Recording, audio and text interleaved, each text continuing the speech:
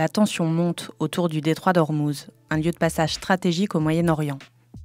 Et à chaque fois qu'un incident s'y produit, c'est tout le marché mondial du pétrole qui tremble. Le détroit d'Ormuz, c'est là, un étroit passage maritime de 33 km de large qui relie le golfe Persique à la mer d'Oman, puis à l'océan Indien.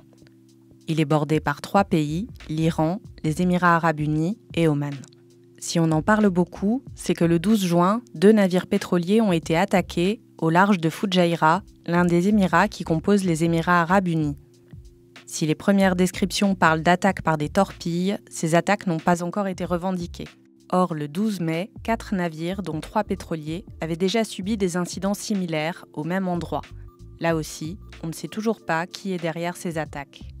D'après les Émirats arabes unis, ces attaques portaient la marque d'une opération sophistiquée et coordonnée, et vraisemblablement pilotée par un État. Si les Émirats ne citent pas nommément de pays en particulier, tous les regards se tournent vers l'Iran. Ce dernier a fermement démenti être à l'origine de ces attaques, mais à plusieurs reprises par le passé, il avait menacé de fermer l'accès au détroit, un accès d'autant plus stratégique que Téhéran mène actuellement un bras de fer avec les États-Unis à propos de l'accord international sur le nucléaire iranien.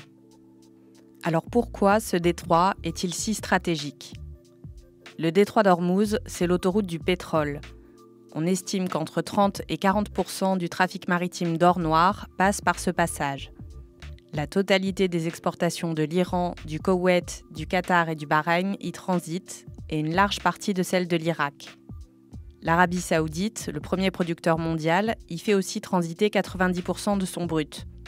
C'est le premier point de passage du trafic maritime pétrolier à l'échelle mondiale. Mais c'est également une importante route pour l'exportation du gaz en provenance du Qatar. Le détroit d'Ormuz, c'est aussi la porte d'entrée et de sortie pour Jebel Ali, le grand port de Dubaï. Celui-ci est le neuvième port commercial de la planète et l'un des principaux points de transit majeurs entre l'Asie, l'Europe, l'Afrique et le Moyen-Orient. Près de 20 millions de tonnes de conteneurs y sont traités chaque année. Mais tout ce trafic passe par une autoroute aux dimensions très réduites. Si le détroit fait 33 km de large, tous ces navires se croisent sur un espace navigable qui, lui, ne fait pas plus de 3 km. Et il est d'autant plus stratégique qu'il existe très peu d'alternatives pour le contourner.